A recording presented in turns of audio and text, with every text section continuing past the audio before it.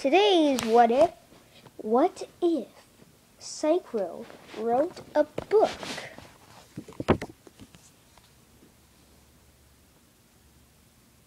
Ten out of ten book of 2016.